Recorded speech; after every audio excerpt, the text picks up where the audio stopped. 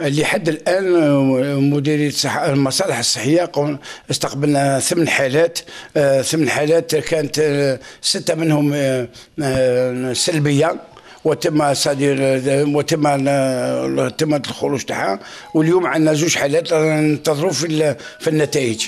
تطبيق لتعليمات وزارة الصحة والسكان قمنا على مستوى ولاية المسيلة انشاء خليه متابعة على مستوى ولاية المسيلة وكذا على مس- مستوى كل مؤسسات الصحيه على للولاية. كما قمنا بإعداد مصالح لحجر الصحي آه، سعتها أكثر من 50 سرير آه، لمواجهه في مواجهة ال- آه، الوباء.